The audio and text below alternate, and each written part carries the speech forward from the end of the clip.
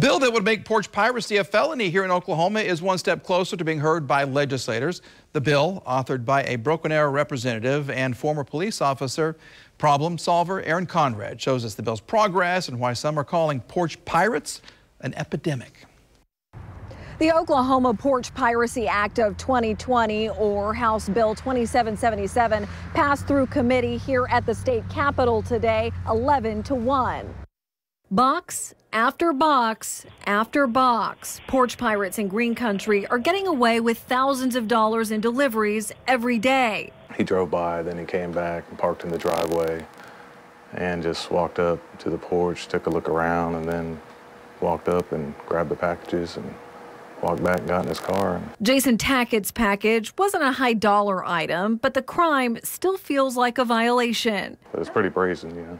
So here the guy's coming up. Andrew Jenkins wasn't so lucky. His item, an expensive gift for his daughter. You're frustrated. You're worried that you just lost, you know, whatever amount of money you spent. And in this case, you know, it's close to $300 that you, feel like you just lost. And in this case, it's a Christmas gift. Our houses are, are, are palaces, and we should feel safe. We should, we should have the ability to have something sent to our house and know that it can be left on our porch and no one is going to mess with it and, uh, and steal it.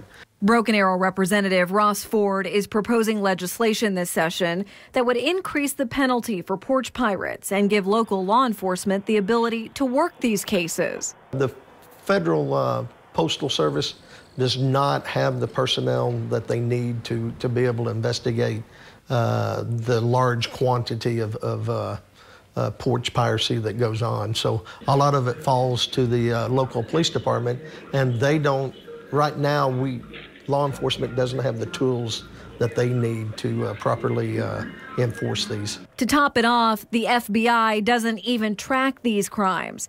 But as Tulsa police will tell you, they happen all the time. It's a serious crime, and you're much more likely to be a victim of one of these larcenies, these porch pirates, than you are of being, you know, shot.